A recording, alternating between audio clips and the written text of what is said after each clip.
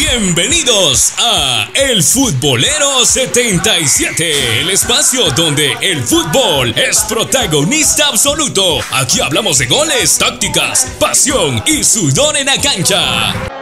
Sí, lastimosamente el rival no logra empatar. Eh, obviamente el marcador que buscábamos era ganar para llegar eh, súper bien a nuestro primer juego de eliminatoria. Pero bueno, es un buen parámetro, se van a sacar buenas conclusiones, tanto positivas como negativas, para pulir los detalles que hicimos bien y obviamente corregir lo que hicimos mal.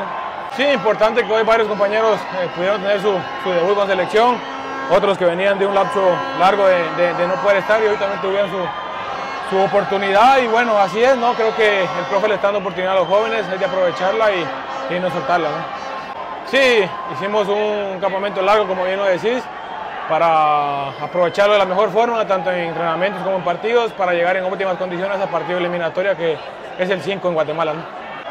Pues creo que súper bien, eh, venimos afinando detalles en lo táctico, eh, en lo físico creo que andamos bien, es un campamento que nos sirvió mucho tanto en lo táctico como en lo físico y ahora la última semana pues a darle con todo porque hay que hacerlo de mejor forma y, iniciar ese partido eliminatorio con, con, unos tres puntos que nos van a ayudar de, de mucho. Sí, increíble. Hoy se hicieron sentir una vez más. Donde quiera que vamos en Estados Unidos siempre nos sentimos como en casa. Y bueno, agradecerles a ellos por, el apoyo que nos dieron el día de hoy.